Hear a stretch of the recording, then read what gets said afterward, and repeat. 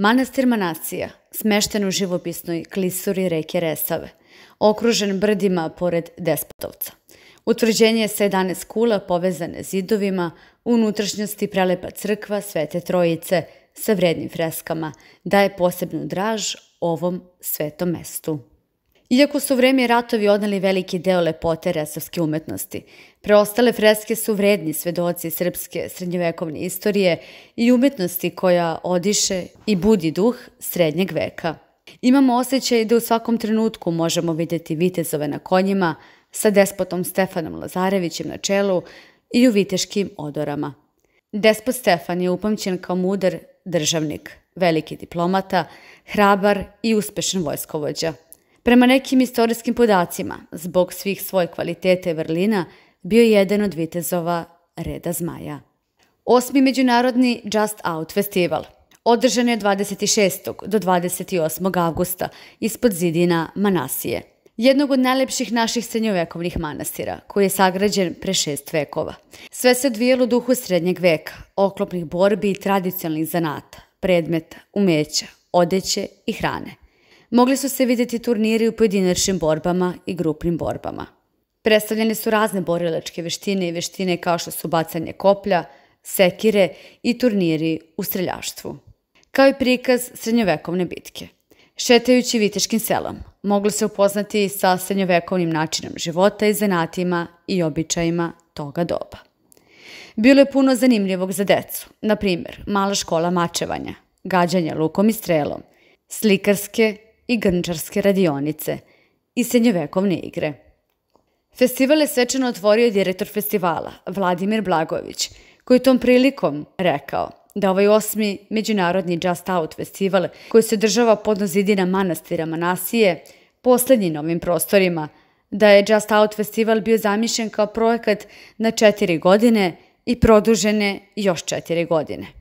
Cilj je bio da se dočara istorija srednjeg veka iz Srbije i Evrope na jedan veoma blizak i jedinstven način. Da se promoviše lik i delo despota Stefana Lazarevića i manastir Manasija, kao i turistički potencijali Despotovca i ovog dela istočne Srbije. Tokom svečanog otvaranja posetioci su uživali u defileu na stotine vitezova iz Srbije i Evrope, obučeni u viteške odore i uz prikaz viteških turnirskih borbi igre vatre i mača i srednjovekovni ples sa mačevima u prikazu Aleksandre Politopoulos Anđen, članice Belih Orlova, koja je oduševila publiku u svom neverovatnom plesu sa mačevima. Domaćini festivala su kao i uvek bili Beli Orlovi, vitezovi iz Beograda, koji su gostili vitezove sa prostora Balkana, iz zemalja okruženja i Evrope.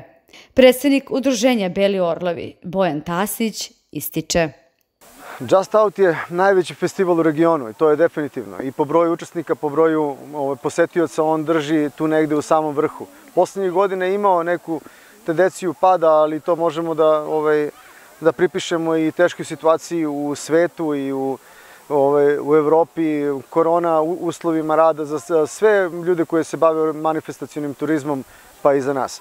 Ali Just Out je nastavio da postoji. Kroz sve godine on je uvek bio tu da podsjeća ljude na, na viteške vrline, na načela, na jedan romantičan period naše istorije i naravno i cilj oko koga smo se i osnovali kao udruženje da našu srednjovekovnu baštinu naše Srbije predstavimo i, i, i našim ljudima u Srbiji, da ih edukujemo u pravcu veličine naše zemlje od pre 600 godina, ali i, i svu inostranu publiku. I da reč o onom svetioniku koje je tada srao i po celoj Evropi, bude ponovo u, u ustima današnjih Evropljana.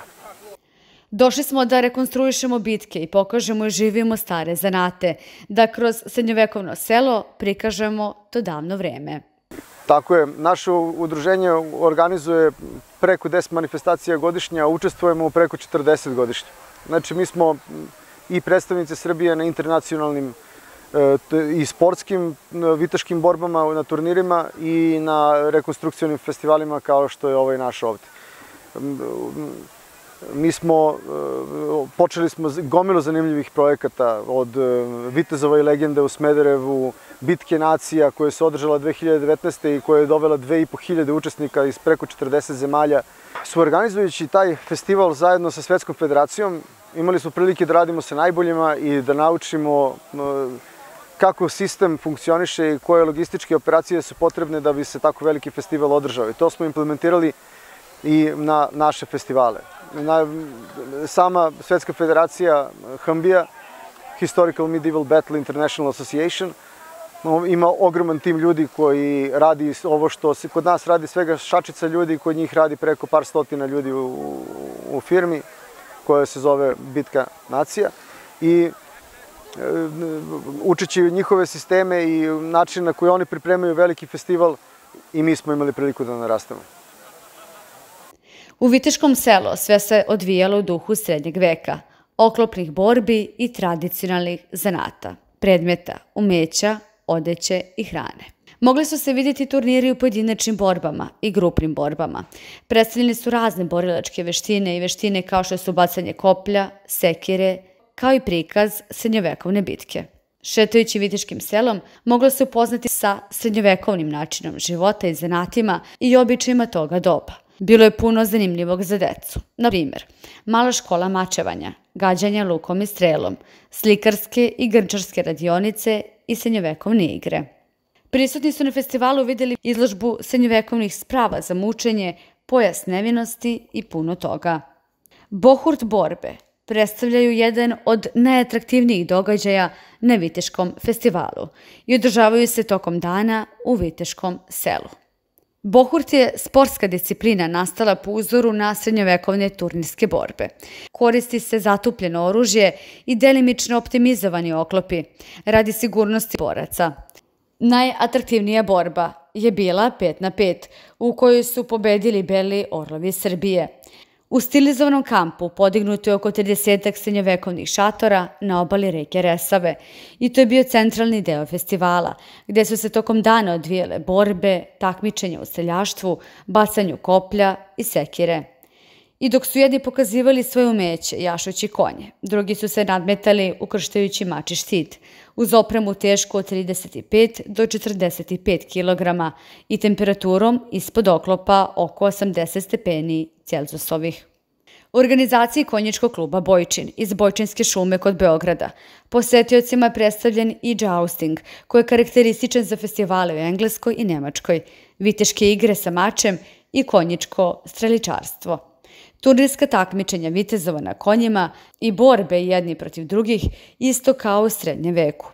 Prikazani su i sokolovi i njihove veštine, koje su u srednjem veku bile veoma cenjene. Posetioci, ljubitelji srednjeg veka, imali su priliku da posete manastir Manasiju i Resavsku pećinu, hidrokompleks Lisine, vodopade Bug, muzelj ugljarstva, ali da probaju srednjovekovne gastronomske specialitete, divljač na žaru, kao i stara vina.